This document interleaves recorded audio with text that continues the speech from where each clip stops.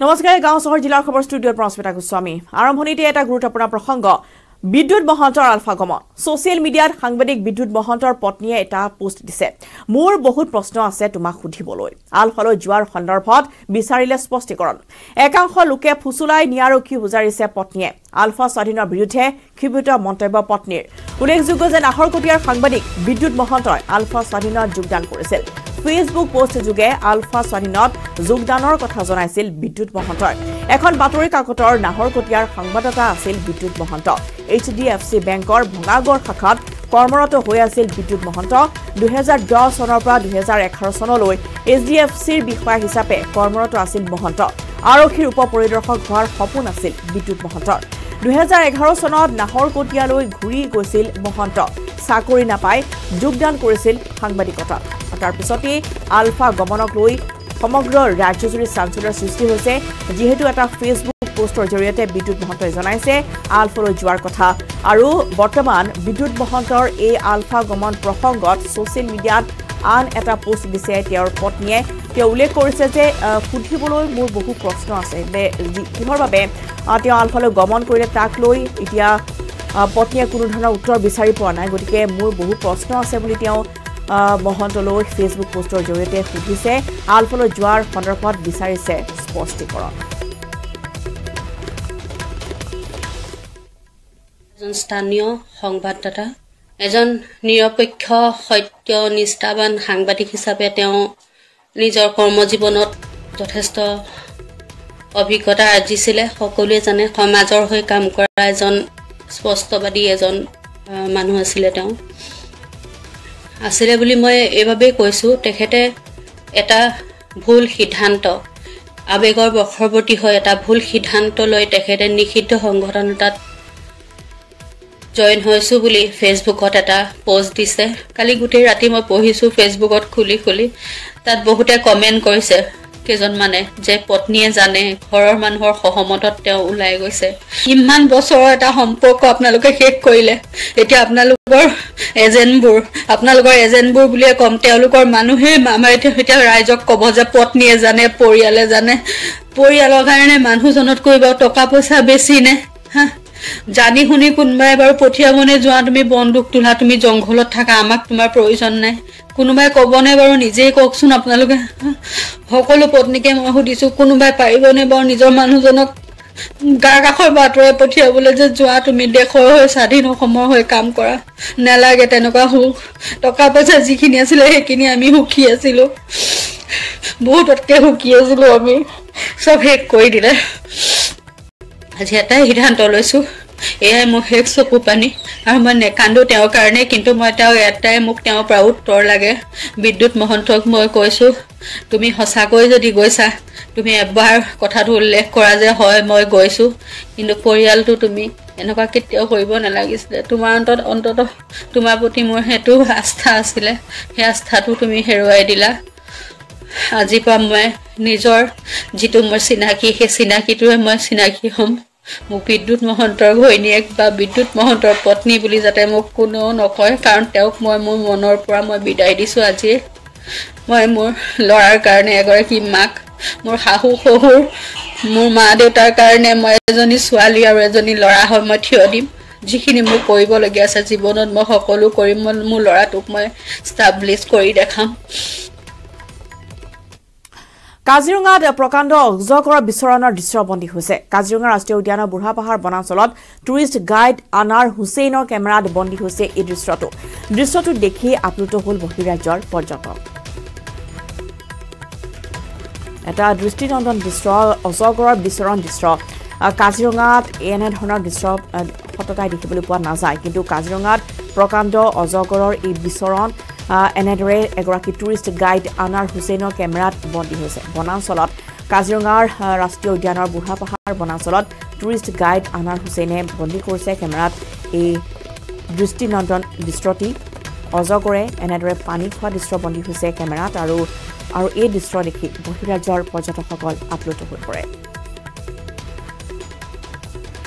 এতিয়া পৰ্যটকৰ বাবে যিহেতু মুকলি কৰি দিয়া হৈছে কাজিৰঙা ৰাষ্ট্ৰীয় উদ্যান আৰু এনেদৰে বুঢ়াপাহাৰ বনাঞ্চলত এটা প্ৰকাণ্ড অজগৰে বিচৰণ কৰাৰ দৃশ্য পৰিলক্ষিত হৈছে আৰু এনেদৰে পানী জুৱলিত খেলিছে অজগৰে। সমান্তৰালভাৱে পানী খোৱাৰো দৃশ্য বন্দী হৈছে এগৰাকী টুৰিষ্ট গাইড আনাৰ হুছেইনৰ কেমেৰাত। আৰু এই দৃশ্য দেখাৰ পিছতেই আপ্লুত হৈ পৰিছে বহিৰাজ্যৰ পৰ্যটকসকল।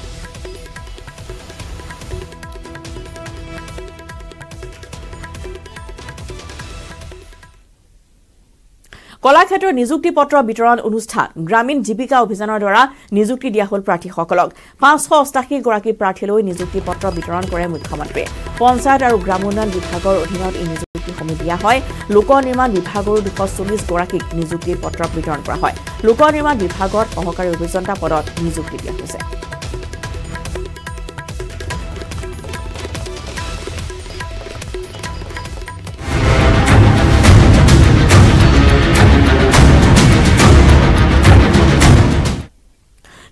ৰাজ্যত বিজেপিৰ পৰ্যবেক্ষক নিযুক্তি দিয়া হৈছে। মুখ্যমন্ত্ৰী বাছনিৰ বাবে পৰ্যবেক্ষক নিযুক্তি দিছে বিজেপিয়ে। প্ৰতিখন ৰাজ্যৰ বাবে তিনিজনীয়া পৰ্যবেক্ষকৰ গোট নিযুক্তি দিয়া হ'ল। সৰ্বানন্দ সোণোৱালক ছত্তীশগড়ৰ পৰ্যবেক্ষক হিচাপে নিযুক্তি দিয়া হয়। ছত্তীশগড়ৰ পৰ্যবেক্ষক অৰ্জুন মুণ্ডা দুষ্মন্ত গৌতমক দিয়া হৈছে পৰ্যবেক্ষক হিচাপে নিযুক্তি। মধ্যপ্ৰদেশৰ পৰ্যবেক্ষক মনোহাৰ লাল খট্টাৰ কে লক্ষ্মণ আশা লাকৰাও আছে পৰ্যবেক্ষকৰ দায়িত্বত। ৰাজস্থানৰ পৰ্যবেক্ষকৰ দায়িত্ব দিয়া হৈছে ৰাজনাথ সিং আৰু বিনোদ টাউৰিক সৰোজ পাণ্ডেকো নিযুক্তি দিয়া হৈছে ৰাজস্থানৰ পৰ্যবেক্ষক হিচাপে। উল্লেখযোগ্য যে নিৰ্বাচনৰ ফলাফল ঘোষণাৰ পাঁচ দিন পিছতো আজিলৈ বিজেপিয়ে চূড়ান্ত কৰিব পৰা নাই মুখ্যমন্ত্ৰী পদৰ প্ৰাৰ্থী। যিহেতু মুখ্যমন্ত্ৰী পদৰ বহুকেইগৰাকী দাবীদাৰ আছে আৰু সেইবাবে এতিয়ালৈকে সহমতত উপনীত হ'ব পৰা নাই ভাৰতীয় জনতা পাৰ্টীৰ নেতৃত্ব। আৰু সেইবাবে ছত্তীশগড় ৰাজস্থান আৰু মধ্যপ্ৰদেশ এই তিনি ৰাজ্যৰ মুখ্যমন্ত্ৰীৰ বাছনি এতিয়াও কৰিব পৰা নাই। তিনি ডিচেম্বৰতে যিহেতু নিৰ্বাচনী ফলাফল প্ৰকাশ পাইছে তাৰ পিছতো এতিয়া মুখ্যমন্ত্ৰীৰ বাছনিৰ ক্ষেত্ৰত যথেষ্ট আউল লাগিছে। বিজেপিৰ ভিতৰচৰাত কেন্দ্ৰীয় নেতৃত্বই কালিৰ দিনটোত সংসদীয় কমিটিৰ বৈঠক অনুষ্ঠিত কৰিছিল যদিও সেই বৈঠকতো চূড়ান্ত সিদ্ধান্ত গ্ৰহণ কৰিব পৰা নাই বিজেপিৰ শীৰ্ষ নেতৃত্বই। আৰু সেইবাবে এই তিনিখনকৈ ৰাজ্যৰ মুখ্যমন্ত্ৰীৰ পদৰ প্ৰাৰ্থী নিৰ্বাচন কৰিবলৈ পৰ্যবেক্ষক নিযুক্তি দিয়া হৈছে। তিনি ৰাজ্যত বিজেপিয়ে নিযুক্তি দিছে পৰ্যবেক্ষক। এই পৰ্যবেক্ষকৰ গোটটোৱে তিনিখনকৈ ৰাজ্যৰ মুখ্যমন্ত্ৰী নিযুক্তি দিয়াৰ ক্ষেত্ৰত তেওঁলোকে সিদ্ধান্ত গ্ৰহণ কৰিব আৰু সেই সিদ্ধান্ত হ'ব চূড়ান্ত সিদ্ধান্ত।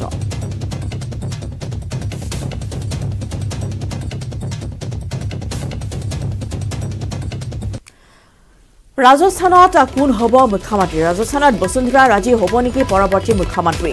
বৃহস্পতিবাৰে দিল্লীত বিজেপিৰ ৰাষ্ট্ৰীয় সভাপতি জে পি নাড্ডাক সাক্ষাৎ কৰি হাঁহিমুখে ওলাই গৈছিল বসুন্ধৰা ৰাজে। ৰাজস্থানৰ লগতে তিনি ৰাজ্যৰ মুখ্যমন্ত্ৰীক লৈ অমিত শ্বাহ আৰু জে পি নাড্ডাৰ মাজতো দীঘলীয়া আলোচনা হৈ আছে। আশা কৰা হৈছে যে আজি বা দুই এদিনতে মুখ্যমন্ত্ৰীৰ নাম চূড়ান্ত কৰা হ'ব। নিৰ্বাচন ফলাফল ঘোষণাৰ আজি পাঁচটা দিন হ'ল কিন্তু মধ্যপ্ৰদেশ আৰু ছত্তীশগড়ৰ লগতে ৰাজস্থানতো এতিয়ালৈকে মুখ্যমন্ত্ৰীৰ নাম চূড়ান্ত হোৱা নাই। মুখ্যমন্ত্ৰীৰ পদৰ দৌৰত আছে বসুন্ধৰা ৰাজে। যিহেতু বসুন্ধৰা ৰাজে পূৰ্বতে বিজেপিৰ দুবাৰকৈ মুখ্যমন্ত্ৰীৰ পদ অধিষ্ঠিত কৰিছিল। কিন্তু নতুন মুখৰ যিটো সন্ধান বিজেপিৰ নেতৃত্বই এইবাৰ কৰা বুলি চৰ্চালৈ আহিছে ৰাজনৈতিক মহলত। গতিকে সেই ক্ষেত্ৰতো তেওঁলোকে আচলতে চূড়ান্ত সিদ্ধান্ত গ্ৰহণ কৰিছে নে নাই সেয়া এতিয়াও স্পষ্ট হোৱা নাই। কালিৰ দিনটোত যদি চাবলৈ যোৱা যায় বসুন্ধৰা ৰাজে কালি বিজেপিৰ ৰাষ্ট্ৰীয় সভাপতি জে পি নাড্ডাক সাক্ষাৎ কৰি হাঁহিমুখে ওলাই গৈছিল। গতিকে সেই দৃশ্য দেখাৰ পিছত এতিয়া সকলোৱে ক'ব বিচাৰিছে যে বসুন্ধৰা ৰাজে হয়তো ৰাজস্থানৰ পৰৱৰ্তী মুখ্যমন্ত্ৰী হিচাপে পুনৰ শাসনভাৰ গ্ৰহণ কৰিব। কিন্তু শেষ মুহূৰ্তত কাৰ নামত ঘোষণা কৰা হয় সেই উৎকণ্ঠা এতিয়াও প্ৰতিজন প্ৰত্যাশীয়ে এতিয়া ক্ষণ পাৰ কৰিবলগীয়া হৈছে। কিন্তু যোৱাবাৰ বসুন্ধৰা ৰাজে নেতৃত্বৰ ৰাজস্থান হেৰুৱাইছিল বিজেপিয়ে। কিন্তু বসুন্ধৰাৰ সমৰ্থকৰ মতে ৰাজস্থানত যিহেতু প্ৰতিবাৰে চৰকাৰ সলনিৰ পৰম্পৰা আছে সেয়েহে যোৱাবাৰৰ পৰাজয়ৰ ভাৰ ৰাজেৰ মূৰতে জাপি দিয়াটো উচিত নহয়। আৰু সেই দিশেৰে বসুন্ধৰাৰ প্ৰতি বিজেপি নেতৃত্ব এইবাৰ কিমান সুপ্ৰসন্ন হয় সেয়া সময়তহে লক্ষণীয় হ'ব। মুখ্যমন্ত্ৰী পদৰ দৌৰত আছে আন কেইবাজনো।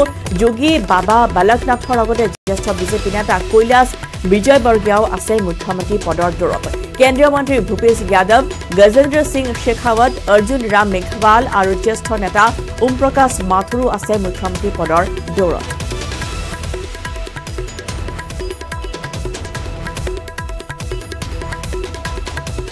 আৰু মধ্যপ্ৰদেশত আচলতে কোন হ'ব মুখ্যমন্ত্ৰী মামা শিৱৰাজ নে সিন্ধিয়া মহাৰাজ? ইয়াক লৈ এতিয়া বিজেপি নেতৃত্ব ঐক্যমতত উপনীত হ'ব পৰা নাই। কালিৰ যিখন কমিটি যিখন সংসদীয় কমিটিৰ বৈঠক অনুষ্ঠিত হৈছে তাত প্ৰধানমন্ত্ৰী উপস্থিত আছিল। গৃহমন্ত্ৰী উপস্থিত আছিল লগতে ৰাষ্ট্ৰীয় সভাপতি জে পি নাড্ডা উপস্থিত আছিল কিন্তু তাতো তেওঁলোকে চূড়ান্ত সিদ্ধান্ত গ্ৰহণ কৰিব পৰা নাই। যিহেতু শিৱৰাজ সিং চৌহান থাকিব নে নতুন এগৰাকী মুখ এইবাৰ দিয়া হ'ব য'ত তালিকাত নাম আছে জ্যোতিৰাদিত্য সিন্ধিয়া নৰেন্দ্ৰ সিং টোমৰ কৈলাশ বিজয় বৰ্গীয়াৰ নাম আছে। গতিকে মধ্যপ্ৰদেশতো কোন হ'ব মুখ্যমন্ত্ৰী লৈ মুখ্যমন্ত্ৰী তাক লৈ এতিয়া পৰ্যবেক্ষক যিহেতু নিযুক্তি দিয়া হৈছে আৰু আশা কৰা হৈছে যে দুই এটা দিনৰ ভিতৰতে এই তিনি ৰাজ্যৰ মুখ্যমন্ত্ৰীৰ নাম ঘোষণা কৰিব বিজেপি নেতৃত্বই খবৰ নিজাম গাঁও চহৰ জিলাৰ খবৰত সময় হ'ল এটি বিৰতি। ভাৰতৰ গৌৰৱ গোটেই বিশ্বতেই ইয়াৰ সন্মান ষ্ট্ৰং মানে মাইথান ষ্টীল।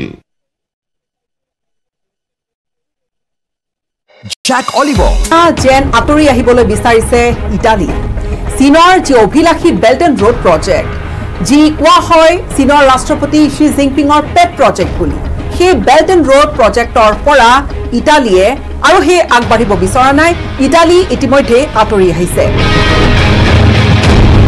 জি ছেভেন দেশসমূহৰ ভিতৰত একমাত্ৰ ইটালীয়ে চীনৰ সৈতে এই বেল্ট এণ্ড ৰোড প্ৰজেক্টত অংশীদাৰ হৈ আছিল বা চুক্তিবদ্ধ হৈ আছিল। তাৰ বাহিৰে আন দেশকেইখন নাছিল জি ছেভেনৰ আৰু এতিয়া ইটালীয়েও যেন ক'ৰবাত চীনৰ চৰিত্ৰ উপলব্ধি কৰি আঁতৰি আহিবলৈ বিচাৰিছে। ইতিমধ্যে আনুষ্ঠানিকভাৱে এই চুক্তি বাতিল কৰাৰ কথা বা এই চুক্তি ভংগ কৰি ওলাই অহাৰ কথা চুক্তিৰ পৰা ঘোষণা কৰিছে। চীনৰ যি belt and road infrastructure initiative অত্যন্ত এক চীনৰ অভিলাষী প্ৰজেক্ট য'ত বিভিন্ন দেশৰ সৈতে চীনে তাত বিভিন্ন ধৰণৰ আন্তঃগাঁথনিমূলক কাম কাজ কৰিছে আৰু বিনিময়ত ক'ৰবাত নহয় ক'ৰবাত সেই দেশকেইখন চীনৰ হাতৰ মুঠিত থাকিব এই ধৰণৰ এটা মানসিকতা বুলিয়েই চাৰিওফালে চৰ্চিত সমালোচিত হৈ আহিছে। বিভিন্ন দেশে হয়তো এই কথাখিনি উপলব্ধিও কৰিছে। হয়তো শেহতীয়াকৈ এই কথাখিনি উপলব্ধি কৰিছে ইটালীয়ে। আৰু ইটালীয়ে চীনৰ এক প্ৰকাৰ সেই লুণ্ঠনকাৰী আগ্ৰাসী মনোভাৱৰ পৰিপ্ৰেক্ষিতত আৰু চীনৰ সৈতে সম্পৰ্ক এই দিশেৰে আগবঢ়াই নিবলৈ বিচৰা নাই। বেল্ট এণ্ড ৰোড প্ৰজেক্টৰ সৈতে আৰু কোনো ধৰণৰ কাম কাজ একেলগে কৰিবলৈ ইটালীয়ে বিচৰা নাই চীনৰ সৈতে। ইটালীয়ে এই ধৰণৰ যুক্তি দাঙি ধৰিছে যে যি ধৰণে তেওঁলোকে ফলাফল আশা কৰিছিল সেয়া একোৱে হৈ উঠা নাই। এই চুক্তি কৰাৰ ইটালী আৰু চীনৰ মাজত এই চুক্তি বা ইটালীয়ে চীনৰ বেল্ট এণ্ড ৰোড প্ৰজেক্টৰ অংশীদাৰ হোৱাৰ চাৰিটা বছৰ হৈছে ইতিমধ্যে। আৰু মাৰ্চ দুহেজাৰ চৌব্বিছত এই কণ্ট্ৰেক্ট বা এই যি তেওঁলোকৰ চুক্তি সেয়া নৱীকৰণ হ'লহেঁতেন। কিন্তু তাৰ পূৰ্বে ইটালীয়ে ফালৰি কাটি আহিছে। এখন ইটালীৰ সংবাদপত্ৰত এই ধৰণে প্ৰকাশ কৰা হৈছে যে এই সিদ্ধান্ত সম্পৰ্কে বেইজিঙক আজি কেইদিনমান পূৰ্বেই জনোৱা হৈছে। কিন্তু আনুষ্ঠানিকভাৱে একো কথা আচলতে ইটা- ইটালীয়ে এতিয়ালৈকে সদৰি কৰা নাই।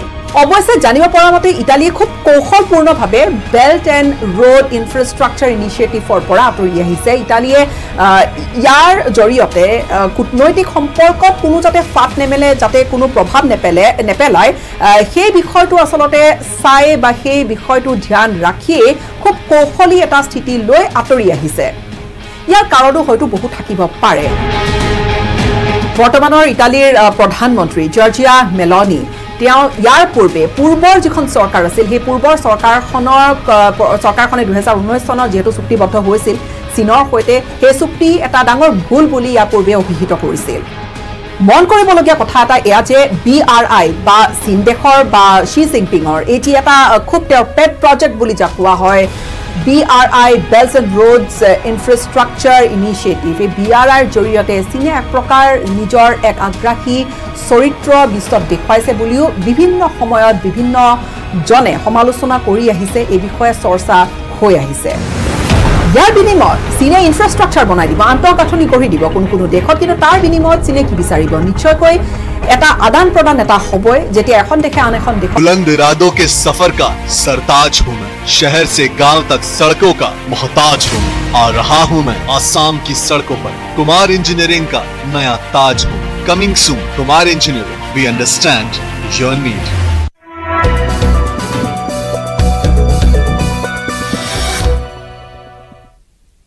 ম্যানমাৰৰ নিশা বাৰ্মিজ সেনাৰ আক্ৰমণ দক্ষিণ চান প্ৰদেশত মাজনিশা এয়াৰ ষ্ট্ৰাইক চান প্ৰদেশত নিশা বাৰ্মিজ সেনাৰ বোমা বৰ্ষণ কৰে বিদ্ৰোহী শক্তি টি এন এল এৰ অধীনত আছে চান প্ৰদেশ শিশুসহ পাঁচজনীয়া এটা পৰিয়াল নিহত হৈছে এই বৰ্ষণত। বোমা বৰ্ষণত আহত হৈছে আন চাৰিজনকৈ লোক। পুনৰ জনাওঁ ম্যান- ম্যানমাৰত নিশা বাৰ্মিজ সেনাই চলাই আক্ৰমণ। দক্ষিণ চান প্ৰদেশত মাজনিশা এয়াৰ ষ্ট্ৰাইক চান প্ৰদেশত নিশা বাৰ্মিজ সেনাৰ বোমা বৰ্ষণ। বিদ্ৰোহী শক্তি টি এন এল এৰ অধীনত আছে চান প্ৰদেশ। শিশুসহ পাঁচজনীয়া এটা পৰিয়াল নিহত হৈছে এই বোমা বৰ্ষণত। আহত হৈছে আন চাৰিজনকৈ লোক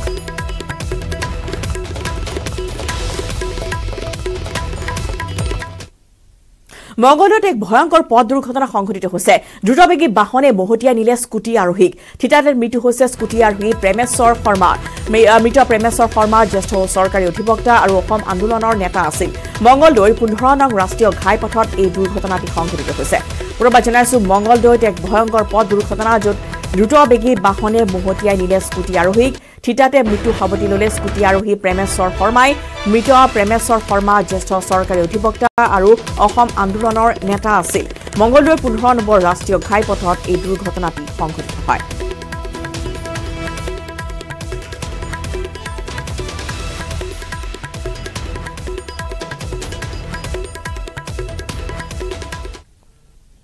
কলিয়াবৰত অচিনাক্ত বন্দুকধাৰীৰ বিচৰণ কাজিৰঙা ৰাষ্ট্ৰীয় উদ্যানৰ সমীপত বিচৰণ বন্দুকধাৰীৰ চাৰিজনকৈ বন্দুকধাৰী যুৱকৰ বিচৰণ সংৰক্ষিত বনাঞ্চলত হাতীমূৰাৰ কাষতে বন্দুকধাৰী যুৱকৰ বিচৰণক লৈ চাঞ্চল্য বিৰাজ কৰিছে। কামাখ্যা সংৰক্ষিত বনাঞ্চলৰ কাষত দেখা গৈছে দলটোক। টপাহোলা এলেকাত কেমেৰাত বন্দী হ'ল যুৱকৰ এই দলটো।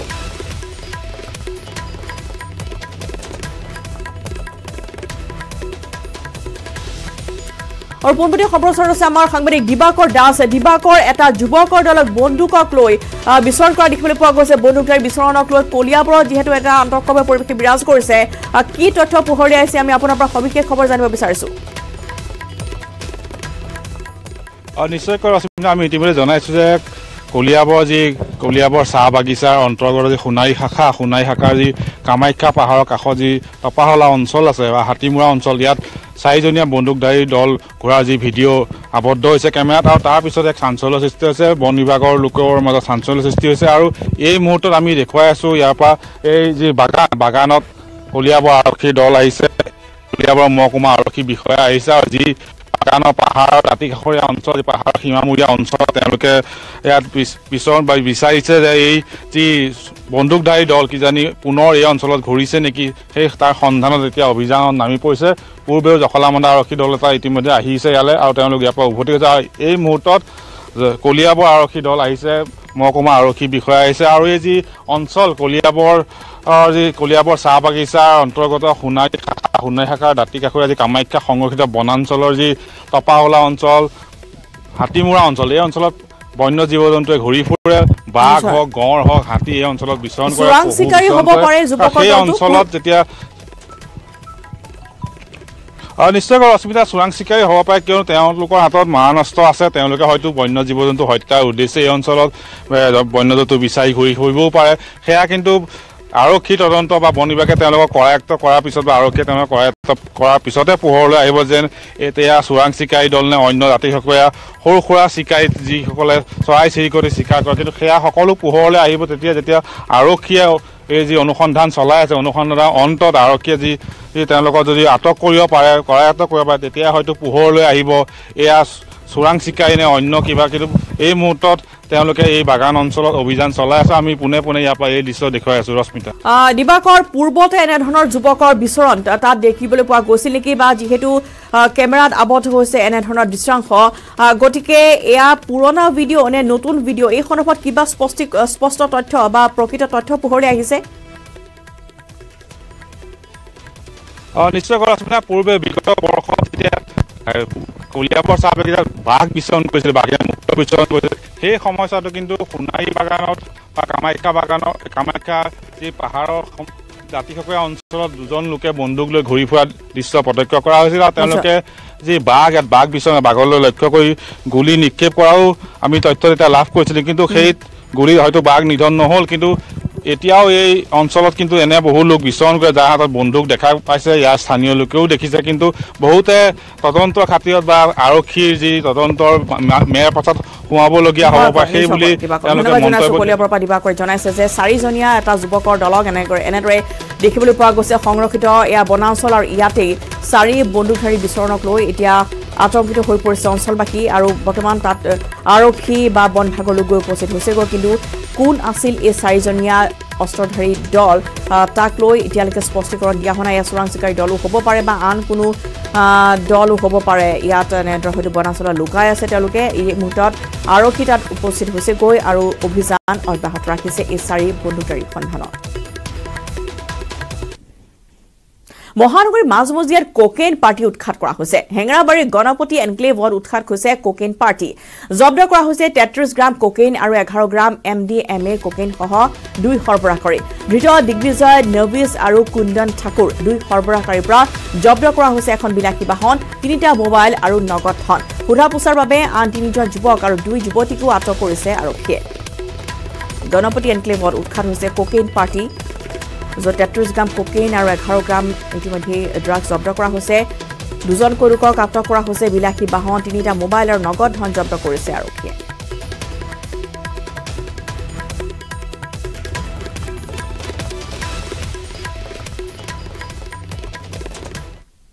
বিজ্ঞাপন ইতিমধ্যে প্ৰকাশ হৈছে বা নিযুক্তিৰ প্ৰক্ৰিয়াত আছে।